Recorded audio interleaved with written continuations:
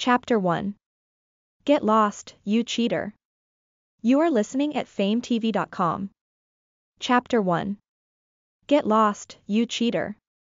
On Su Lu's favorite sofa, a male was holding a female in his arms, and the two of them were currently kissing. Both were so absorbed in the kiss that they did not take any notice of their surroundings. Su Lu stood at the doorway. She wasn't sure which emotion she should express anger. Sorrow. Or maybe a bit of both. Before she entered her first year of university, Su Lu's mother had told her to never find herself a man who is rich and handsome. Largely because, those type of men are dazzling, but also the hardest to handle. Unfortunately, the advice was quickly slammed on the table, mother, I was a muddle-headed. Her mother was not all that serious when giving her advice, and even more so was Su Lu as the listener. But thinking about it now, Sulu had to admit that her family's Empress Dowager was right. Men that are rich and handsome are really no good. Sulu had always felt that life had three melodramatic events. 1. When realizing your name was not in the top scorers list. 2. When realizing the bride was not yourself on the wedding night, and 3. Seeing a familiar face but your relationship with each other is not that good. Sulu has a handsome boyfriend who had a good family background.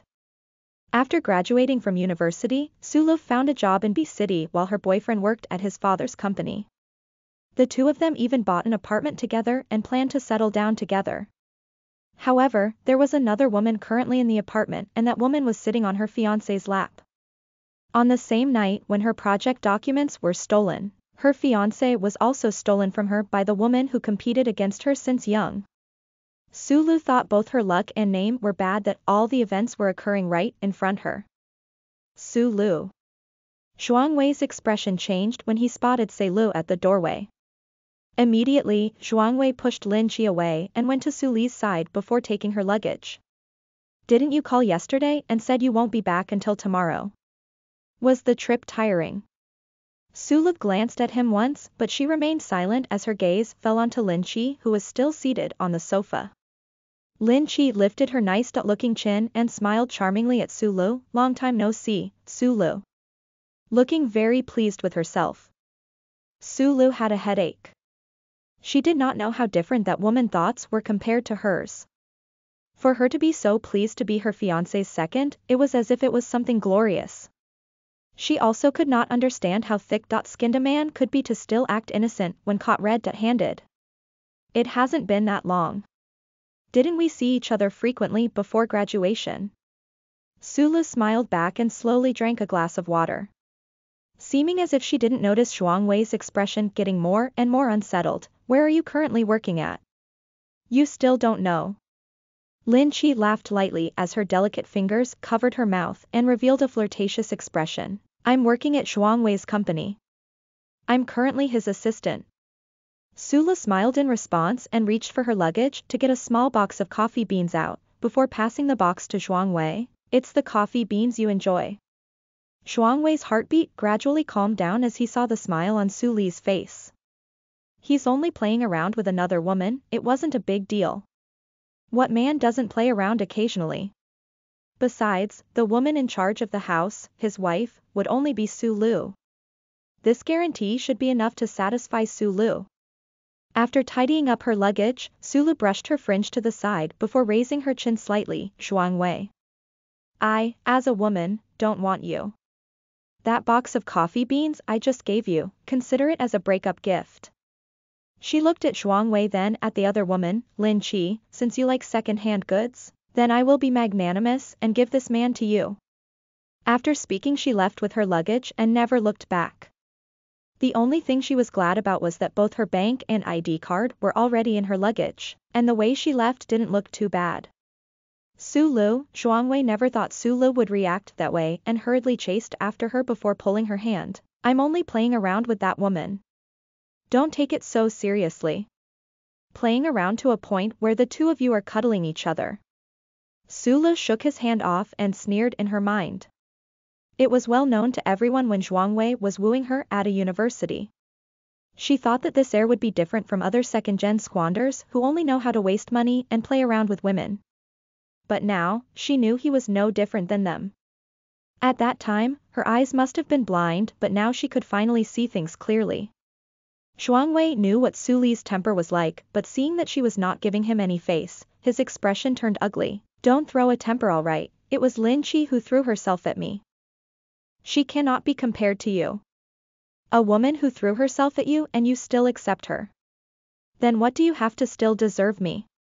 Su Lu sneered and saw Lin Qi, who came out with ugly expression. I think you two are fated to be pair.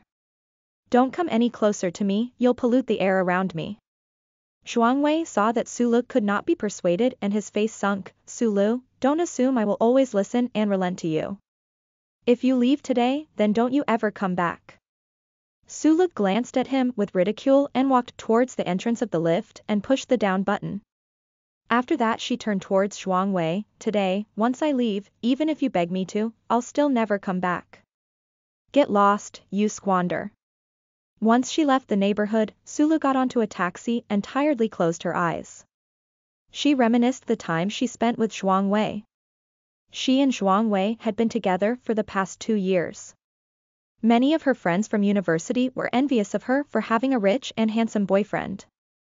In this era, where land and gold are valued, the Zhuang family possessed a villa and a company. In the eyes of many women, that type of man was obviously going to be a wealthy husband. But in the past, that wealthy person used to buy her breakfast every morning and would accompany her in her self-study session every evening. In the end, she got together with this heir who easily attracted numerous other girls. Only, she had never thought that her relationship with him would end up like this, when one year had not even passed since her graduation. As expected, men that are rich and handsome are not reliable. Sulu put her hand down and looked at the night view outside from the window. Sulu lowered her eyes slightly. From now on, when looking for man, it's better to find one who was honest, sincere and ordinary because at least that way she would be at ease even in this world where mistresses roam about. When Su Lu got out of the taxi, she heard her friend's voice, Xiao Lulu. She lifted her head and saw her best friend from university, Chen Yu, waving happily at her. Su Lu's nose started to sting and she rushed towards her friend, Xiao Yu Yu. I say, would it kill you to not mock my name for a single day? Chen Yu took Su Lu's luggage and then stretched Su Lu's delicate cheeks, let's go up. When the two of them finally rested on the bed, Chen Yu asked, what happened between you and Zhuang Wei? Only allowed on creativenovels.com Su Lu widened her eyes and stared at the ceiling, we broke up. I just got back and happened to catch Zhuang Wei and Lin Qi kissing and forgot about me. Su Lu laughed bitterly, that's why I dumped him. It's Lin Qi again, that loose woman. Chen Yu sat up angrily. Why didn't you slap that cheating couple? What were you thinking? Su Lu sat up as well and raised her eyebrows, my hands would hurt if slapped them. Anyway, breaking up now is better than getting a divorce after the marriage. She looked at the engagement ring she was wearing on her right hand before taking it off. By the way, if this ring was sold, how much do you think it would worth? Chen Yu carefully studied the ring and concluded, the diamond isn't small, should worth some value. Oh, Su Lu stroked her chin and placed the diamond ring on the bedside table and spoke after a while, then I'm not too unlucky. Do you know about the student reunion tomorrow? Chen Yu changed the topic after seeing Su Lu's expression was not right and poked on Su Lu's forehead. I heard senior classmate Wei will be going too. Who's senior classmate Wei? Su Lu asked blankly. Chen Yu carried on poking Su Lu's frustrated forehead, senior classmate Wei, older than us by two years, the famous Wei Chu. Every term he would get the top scholarship and the most handsome president of the student union in a university's history. I heard he's currently managing a listed company, he's already the representative of US graduates. Chen Yu's ah made Sulu tremble. She swatted Chen Yu's hand away. Wei Chu. Massaging the area that hurt from the poking, she said calmly, I don't recognize him. Xiao Yu Yu, being too infatuated will affect your image. Classmate Su Lu, there would be a day when you die from inadequate information. Chen Yu clenched her teeth. Su Lu raised her eyebrows, ordinary people who live in places where news do not pass will not be pressured by that sentence. It's 2012, you won't make it on the boat, Chen Yu said gravely. Su Lu raised her slim arms, even if I saw Noah's Ark, I will still not get on. You really don't know who senior classmate Wei is. Chen Yu still not giving up. Sulu felt a bit guilty when looking at Chen Yu and she felt ashamed for not knowing who Wei Chu is, do I have to know who he is? Chen Yu rested her hand on her forehead, don't you remember it was Senior Wei who went to receive you on your first year when you just entered university? Sulu seriously tried to recall, I only remember there was a male student who guided me halfway before leaving. It caused me to have search for the female dorms for most of the day. Chen Yu face stiffened, then, do you remember the event held by the Public Relation Department at the last term of our first year and Senior Wei gave you some guidance? Su Lu earnestly thought back, you're talking about the person who said I drew the sunflowers badly. Unfortunately, she didn't remember what that person looked like and only remembered that someone had told her that her sunflowers did not have enough vitality. Then how about the first term of second year? At a party when you were drunk, who was the person who carried you back to the dorms? Chen Yu was close to roaring at this point.